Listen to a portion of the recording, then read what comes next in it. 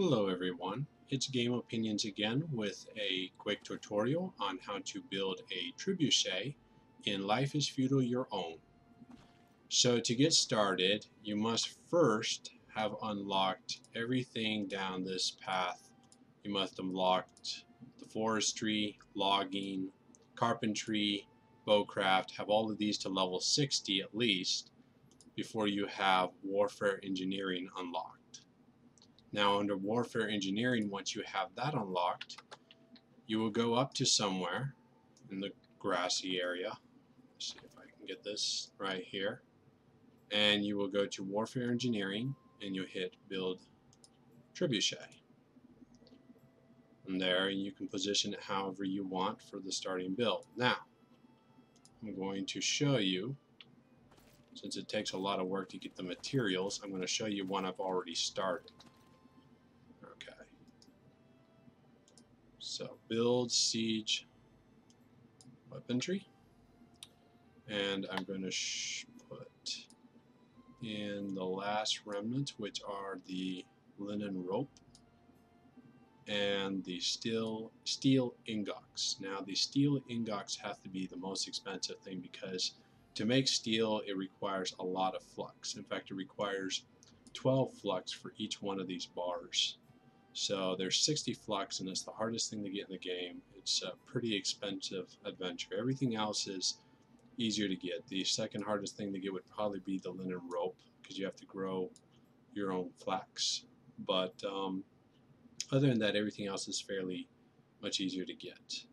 Um, one more thing I'm going to make note for you guys watching this. Um, to build this, you're going to be required to have the wooden mallet. It will not work with it will not work with the blacksmith hammer or any other hammer that I know of. I tried the blacksmith hammer and it would not work. Most things um, to build that requires a hammer, it allows the blacksmith hammer. But for some reason, unless they're going to put some future update that they're going to allow everybody, they plan on only letting you use the wooden mallet in this case. Okay, so now I'm going to click build. Hopefully, oops. Problem is, is I'm in the way. Let's see if I can reach it from here. Alright, let's see if I can reach it from here. Uh, see, if you happen to be in the way when it builds it, there.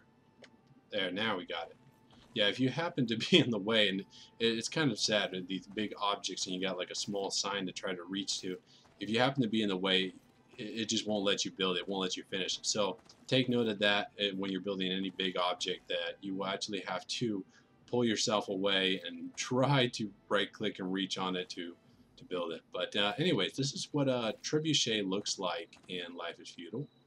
Actually, it looks uh, very neat. Uh, I like the artistic look right up there. I mean, that looks really neat. So, yeah, pretty fancy. Of course, it took fancy gear to make this, so yeah, I'm very happy with it. Anyways, that's the end of the tutorial. If uh, this helped you in any way, uh, please leave a like, and thank you.